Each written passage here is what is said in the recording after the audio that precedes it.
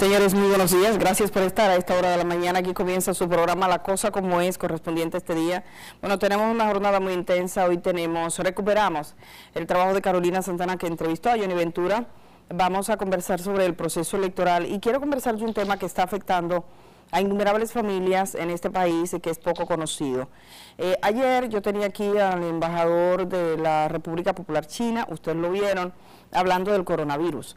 Evidentemente hay preocupación entre la gente por el coronavirus porque es una alarma internacional, la Organización Mundial de la Salud así lo ha dicho.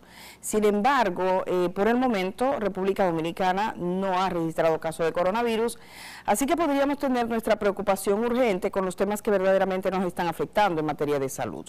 Ustedes recuerdan la gripe H1N1 en el año 2009 aproximadamente cuando eh, desde México llegaban casos innumerables las noticias, incluso hay países que pusieron límites al viaje de ciudadanos mexicanos, los mexicanos tuvieron que salir a explicarlas, los mexicanos andaban con mascarilla en la cara. ¿Por qué la gripe, eh, la influenza H1N1 era un problema? Porque no había una cura porque estaban llegando los eh, enfermos y recuerdo por ejemplo un reporte que murieron 20, que llamaban 23 y así por el estilo. Pero una vez se consiguió aislar al virus, al H1N1, pasó a ser algo que vive con nosotros, como probablemente pase a ser el coronavirus, el tipo de coronavirus, porque coronavirus es una familia, el tipo que se ha descubierto ahora. Ahora, ¿qué pasa en República Dominicana? La emergencia de República Dominicana es el H1N1 en este momento. Hay muchas personas que están afectadas de esta enfermedad, de este tipo de influenza, está circulando y no es verdad que no sea nada. Es nada si tienes el medicamento, es nada si se te puede hacer el diagnóstico a tiempo. Pero en este momento no se puede hacer las pruebas y tampoco está el medicamento. Yo he contactado con varios laboratorios y de hecho eh, ahorita les voy a compartir para que ustedes vean con, evidencia cómo ha sido ese proceso que no tienen el reactivo necesario para eh, hacer la prueba. Y te dicen no tenemos fecha, no tenemos tiempo. Eso incluye a clínicas privadas y laboratorios importantes de este país. Ayer solo había una clínica, que era donde te estaban refiriendo, que todavía tenía la posibilidad de hacer la prueba del H1N1 o de la gripe A, la gripe A y, la gripe, y la gripe B. Entonces, eh, conversé con una doctora que tuvo un niño que convulsionó y entró en estado crítico. Conseguir ese medicamento, que es el Tamiflu, o que tiene otro nombre, ese es el nombre comercial, no aparece. ¿Dónde aparece? Te dicen, bueno, hay, me hablaron de una paciente que lo encontró en la Romana, de aquí del distrito, y la gente se está moviendo. Entonces el Ministerio de Salud ha dicho que tiene el medicamento, pero ¿dónde la gente va a buscarlo? Sería bueno que dieran una comunicación pública diciéndole a la gente, bueno señores, tenemos esta realidad con el H1N1, ¿dónde se puede hacer la gente las pruebas si no está eh, el, el reactivo necesario? Entonces, las mujeres embarazadas, los ancianos, la gente que tiene una condición básica que puede ser que sea eh, diabética o que tenga problemas eh, de otro tipo, una enfermedad primaria, pueden confrontar serias dificultades y llegar incluso a morir con esta enfermedad.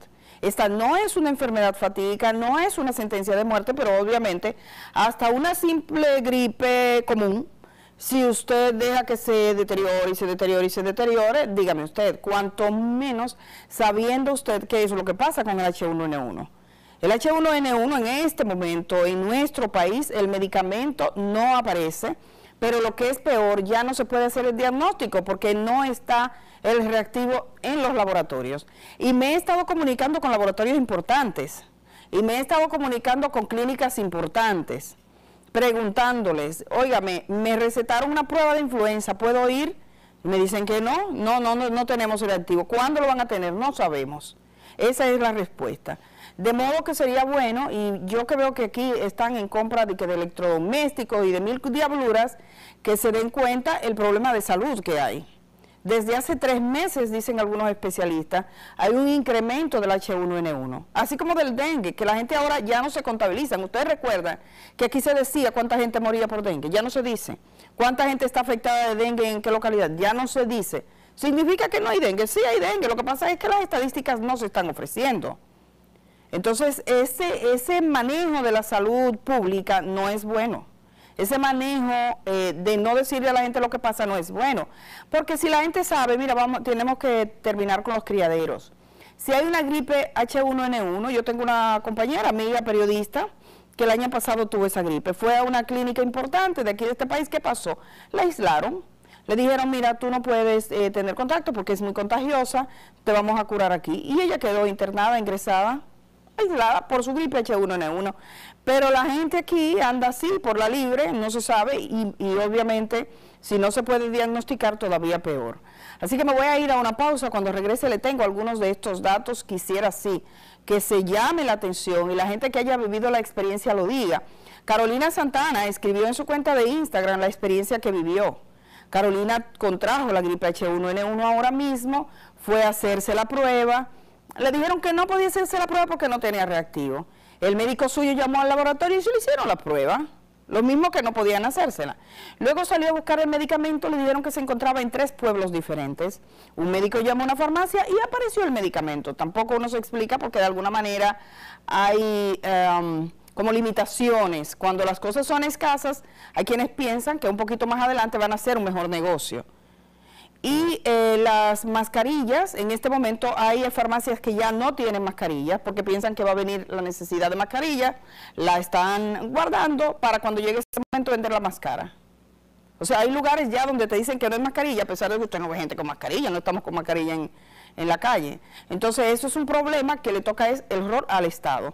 No es posible que haya gente enferma con gripe con mucha intensidad, niños, mujeres embarazadas, gente sin recursos, porque si usted me está diciendo, ah, bueno, es una persona que tiene recursos, pero solo moverte, moverte de un sitio a otro, vas a una clínica, no, vas a otra, no, vas a un laboratorio, no.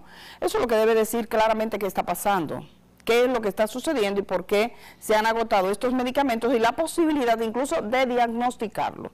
Yo voy a ir a la pausa, cuando regrese vamos con esto, también tenemos a Carolina Santana, que ya tenía de manera previa la entrevista con Johnny Ventura y mucho más aquí en La Cosa Como Es.